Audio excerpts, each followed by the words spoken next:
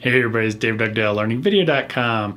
So I thought it'd be fun to compare my four-year-old A7S to the new A7R3. In this first test, I'm going to be comparing sunglasses, or if somebody were to wear actual glasses in an interview.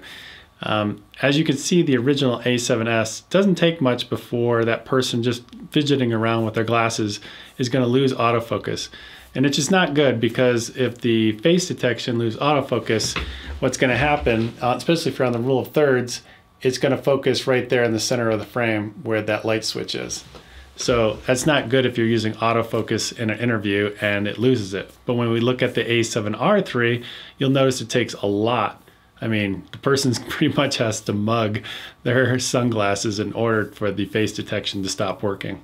In this next test, we're going to see the A7S doesn't take much before the person playing around with their nose, scratching their nose, whatever they're doing, it's going to lose face detection quite quickly. But when we look at the A7R3, we can see that again, this box around the face is very tenacious and it won't let go which is a great thing. In this next test, I'm turning my chair to a profile on the A7S, and you can see it starts to lose the box um, going into profile, and then I turn all the way around. Um, it doesn't focus on the back of my head, it goes right to the light switch, which is in the center of the frame. But when we look at the A7R3, it seems to hold that profile a little bit longer. When we turn around, it seems like they changed the algorithm here. It says if a face detected, stay on that plane of focus um, until the face appears again. All right, going to the edge of the frame, it seems like the A7S loses itself a little bit quicker. Maybe there's not as many phase detection points going all the way out to the edge of the frame compared to the A7R3, which seems to be able to go to the edge of the frame just a little bit more. Um, so if you're detecting faces all the way to the edge, the A7R3 seems to be working better. Next up, I'm gonna put myself out of the frame. It's gonna focus on the light switch. I'm gonna bring up a my hand, which would be a closer object than the light switch, but it's off to the side. Um, as I bring it to the center, you'll see the A7R3 grabs focus quite easily. Now when we use the A7S and I raise my hand up and I bring it over in front of the light switch, you can see it's having an incredibly hard time um, grabbing hold of the hand, which should have enough contrast in it to detect it. But it doesn't, so we're gonna have to use something with much higher contrast. And you can see I'm using this focus chart to add a lot of contrast. And sure enough, it finally decides it wants to take hold of the, the chart. As you can see, the A7R3 has a much faster processor compared to the A7S original.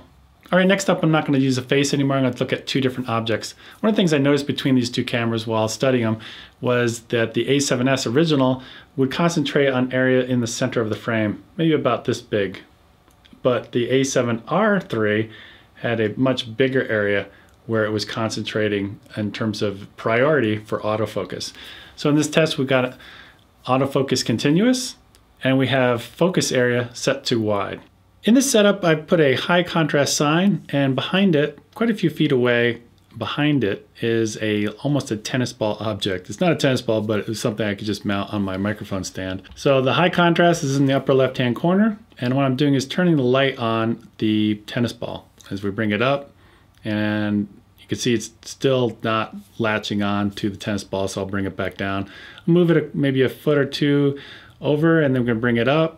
You can see it's not latching onto the tennis ball. I'll bring it down. So what we're trying to do is find out where it starts to kick in.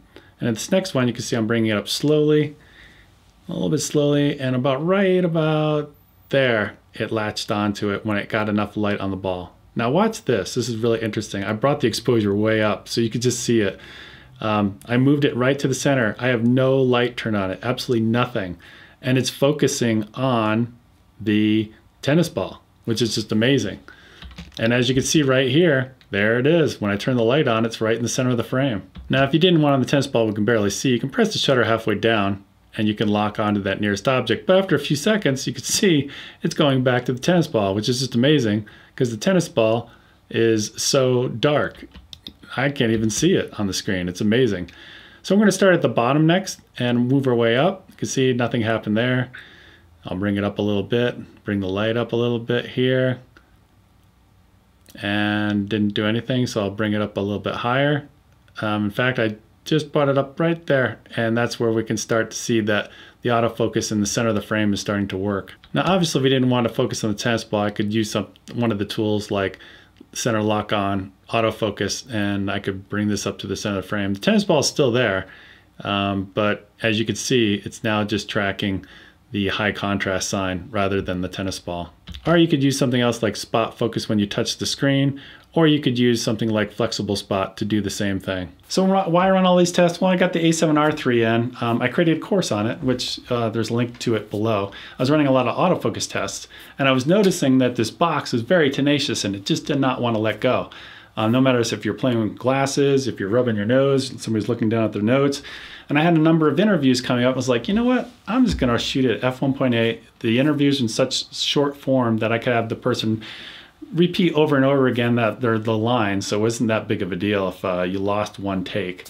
Um, and then just put them on a rule of thirds. And it was kind of gutsy too, because if you lose their face, it's going to go to the background, which is not good, especially if you're shooting on a rule of thirds. I, obviously, if the person was kind of centered in the frame like this, wouldn't be as big of a risk at f1.8 because the algorithm is centered around this part of the frame right here and it latches on like we noticed from that tennis ball example. It just doesn't want to let go in that center of the frame. But over here, it's a lot more gutsy. Now, I want to say those 10 interviews that I did worked out fantastic. There was only one instance where it lost autofocus. And again, it was those short form interviews where I could just say, hey, I think we could do better on the next take. That's pretty much it. So if you enjoy this type of technical information, definitely check out my course below. Over five hours of content, kind of just like this. Um, so definitely check it out, and I'll talk to you guys later. Bye.